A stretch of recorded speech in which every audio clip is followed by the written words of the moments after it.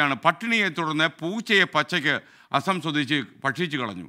Kuttippuram bus സ്റ്റാൻഡിൽ ഇന്നലെ രാത്രി വൈകുന്നേരമായിരുന്നു സംഭവം. നാല് ദിവസമായി താൻ ഭക്ഷണം കഴിച്ചില്ലെന്നാണ് ഈ അസം യുവാവ് പോലീസിനോട് പറഞ്ഞിരിക്കുന്നത്. പോലീസ് ഭക്ഷണം വാങ്ങിച്ചു കൊടുത്തു. അതോടെ യുവാവ് കടന്നു കളഞ്ഞു.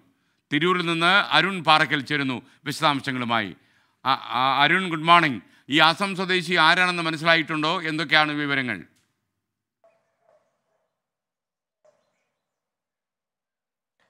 എസ് കെ എൻ ഇന്നലെ വൈകിട്ട് അഞ്ചു മണിയോടെയാണ് ഈ സംഭവം ഉണ്ടായത്. നല്ല വസ്ത്രമൊക്കെ ധരിച്ച ഒരു യുവാവ് കുറ്റിപ്പുറം ബസ് സ്റ്റാൻഡിലേക്ക് എത്തുന്നു. തുടർന്ന് ബസ് സ്റ്റാൻഡിന്റെ ഒരു ഭാഗത്തിരുന്ന യുവാവ് കയ്യിലുണ്ടായിരുന്ന ഒരു പൊതിയൊക്കെ അഴിച്ച് അത് അതിൽ നിന്ന് കുറച്ച് മാംസമെടുത്ത് കഴിച്ചുകൊണ്ടിരിക്കുന്നു.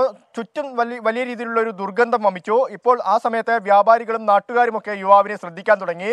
യുവാവിന്റെ അടുത്തെത്തി നോക്കിയപ്പോഴാണ് അതൊരു പൂച്ചയാണ് എന്ന കാര്യം നാട്ടുകാർക്ക് മനസ്സിലായത്. ഉടൻ തന്നെ കുറ്റിപ്പുറം പോലീസിനെ വിവരമറിയിക്കുന്നു കുറ്റിപ്പുറം എസ് എച്ച് ഒ പത്മരാജന്റെ നേതൃത്വത്തിലുള്ള സംഘം പോലീസ് സംഘം ഉടൻ തന്നെ സ്ഥലത്തെത്തി യുവാവിന്റെ കയ്യിലുള്ള മാംസം അത് വാങ്ങി വലിച്ചെറിയുന്നു.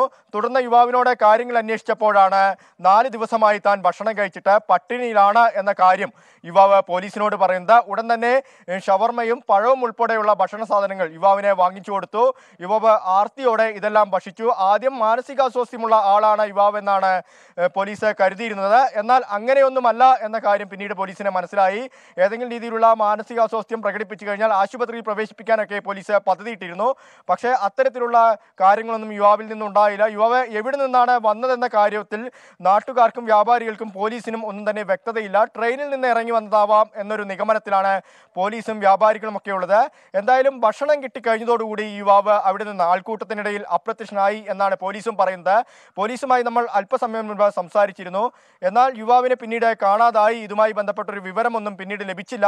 എന്തായാലും ഭക്ഷണം കഴിച്ചപ്പോൾ നാട്ടുകാർക്കും പോലീസിനും അതുപോലെ തന്നെ യുവാവിനും ഒരേപോലെ സന്തോഷമായി എന്ന കാര്യമാണ് പറയുന്നത് S K okay thank you Arun Parakkal.